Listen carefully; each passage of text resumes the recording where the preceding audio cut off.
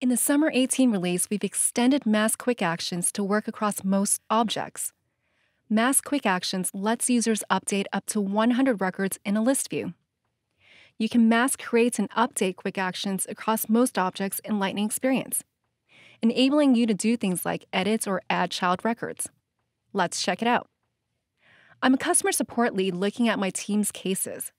My agents have done a great job resolving and closing out high priority cases, so I'm going to move some cases forward by updating the low priority cases to medium. I went ahead and created a new list view of all the low priority cases.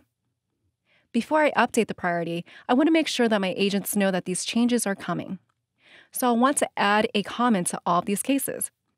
I could simply type in the text in this body section, but I'd rather add a default comment that I can repurpose, given that this is something I'll probably need to do again later. So let's go to Setup and find Object Manager. Once I'm in Object Manager, I'll find my case object. Then I'll go to Buttons, Links, and Actions. I found the case comment action and clicked on it. Let's go ahead and add a new predefined value. I'll select the field name body. I'll go ahead and type in my default comment here, then I'll click Save. Now let's go back to my list of low priority cases.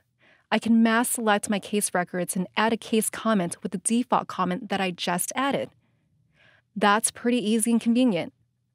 Next, I want to make sure that I create a new task for all my agents. I'd like them to call these customers on Monday to follow up. So let's go ahead and use Mass Quick Actions to create a new task. I'll go ahead and select the task and due date. Then I'll click Save. Perfect. Finally, let's go ahead and update the case priority from low to medium.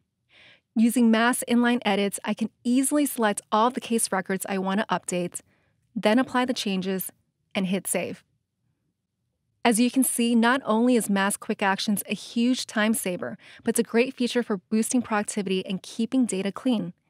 There are countless things you can do with Mass Quick Actions, like quickly and easily creating a new case for 10 accounts, or adding activities to multiple contacts at the same time. You can even choose any layout to show during the update. For example, want to show only the title field for mass update on contacts? No problem. For cases, want to show priority and status versus just priority? That's fine too. The layout is driven by a quick action, so admins have a lot of flexibility. There you have it.